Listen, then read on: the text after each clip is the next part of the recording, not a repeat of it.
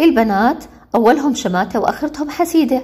لما تجيبوا البنت وتخلف البنت بيقولوا يا حرام جابت بنت بس لما يكبروا بتكون هي حبيبة إمها وأبوها. صباح الخير يعطيكم العافية. أمثال شعبية فلسطينية وموجودة في بعض مدن بلاد الشام الحبيبة وموجودة كمان في مصر وبعض المدن في الدول العربية متداولة يوميا خلال حديثنا. البيت بيت أبونا وإجوا الغرب يطحونا. بنحكيه لما بنكون إحنا أصحاب المكان وبيجي ضيف تقيل أو حد غريب بتحكم فينا. امشي بجنازة ولا تمشي بجوازة.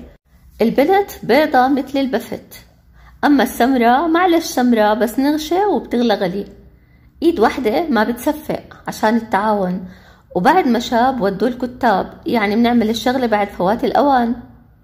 رجعت حليمة لعادتها القديمة. بنحكيها لشخص عنده عادة سيئة أو سلبية وبيتركها وبيرجع لها. طب الجرة أمها بتطلع البنت لأمها. يا شايف الطول يا خايب الرجا. لما نتأمل من شخص شغلة منيحة ويفشلنا. احترنا يا قرعة من فين نبوسك. يعني صعب نرضي الشخص المعين أو ممكن نقول له لا عجبه عجب ولا صيام رجب. التم المتعوس على خايب الرجا. لما حد بيروح بيستعين بشخص تاني وبلاقي إنه حالته أسوأ منه. يا ريتك يا أبو زيد ما غزيت. بنحكيها للإنسان اللي فشل في عمل معين. الأم رضاها والأخت دعاها.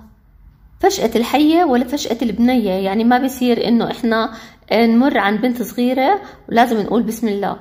اللي بيقول لمرته يا عورة الناس بتلعب فيها الكورة واللي بيقول لمرته يا هانم الناس بتستناها على السلالم.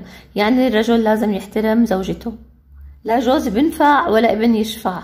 يعني اعتمد على نفسك وبس اعتمدي على نفسك وبس. قبري لمه ولا غيري يضمه بتحكي هالست عن زوجها إنه يتوفى لا سمح الله ولا إنه يتزوج. باب النجار مخلع. يعني لما حدا بيكون بتخصص معين لكن هو مش عامل هاي الشغلة إله. إسكافي حافي والحايك عريان. نفس فكرة النجار. أكله مرعى وقلة صنعة بنحكيها للإنسان الكسول.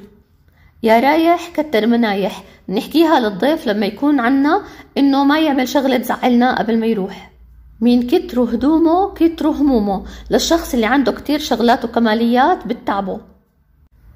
قاعدة تحت تينتها بتحكي على هينتها. بنحكيها عن الست اللي بتحكي شوي شوي وبطيئة. يا حافر حفرة السوء احفرها على مقاسك. بكرة الدنيا بتدور وبتوقع على راسك. يعني من حفر حفرة لأخيه أوقعه الله فيها.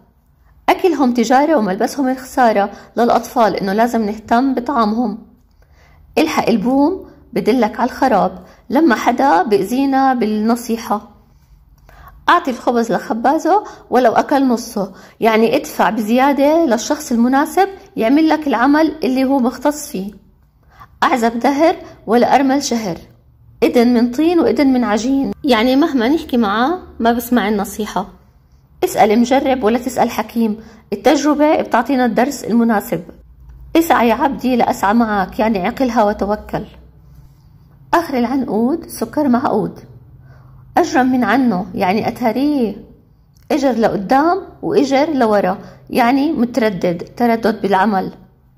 إجا يكحلها عماها. لما حد بتدخل باللي ما إله فيه بخرب. أبو عقلين وأم عقلين للإنسان المتردد. ابن بطني بيعرف رطني. يعني الولد بيعرف لأمه شو بتقصد. الله يرحم جدي مات وهو متغدي. بيحكي عن الإنسان الشبعان. الأم بتعشش والأب بيطفش. لو الحية بتنحط في العب عمر العدو ما بينحب. وابن الحلال عند ذكره بيبان لما بنجيب سيرة حدا وبيجي علينا فجأة. من برا دهان ومن جوا سخام. ومركب الدراير صار ومركب السلفات احتار. وعقبت عليكم بالعافية وأكيد في أمثال كتيرة احكوا لنا أنتم من أي بلد وأعطونا المثل المشهور في مدينتكم. تحياتي عريب العزيزي. إلى اللقاء.